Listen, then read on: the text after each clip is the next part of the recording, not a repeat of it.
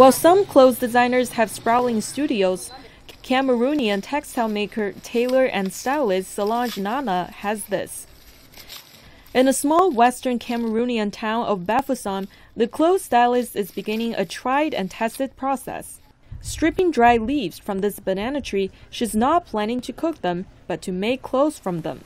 It's a time consuming process which begins with stripping all the leaves from the tree trunks, then sorting the good ones from the bad. The next step is to go through the leaves one by one, get rid of any that are not good. Then I take the rest and I tan them before I work with them. Solange works as a nearby design store, sewing decorations.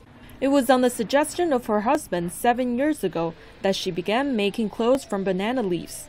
She had previous experience making traditional straw skirts and clothing for special events being held in her community. Solange says she wanted to create something biological, something that's natural which can be worn.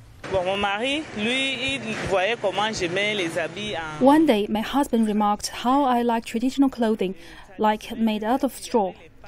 I like straw clothes a lot, and I made them too. But he asked me, why don't you use banana leaf? He went and got some banana leaves for me and asked me to make him a jacket out of banana leaf. I liked the idea, so I tanned and stitched it, and I did it. Many of her designs are based on popular Cameroonian styles. Once she dried the leaves, she then carefully sewed them together. It takes me around a week or two to make a big dress like this one. With the jacket I'm wearing now, it took me two weeks, a week and a half. Because of her unique creations, Solange has become a well known name around Bafoussam. When you see it for yourself, it's great. It's not like you'd imagine. She's really taken the time to do it and all, and it's beautiful. All Cameroonians should wear it, in fact.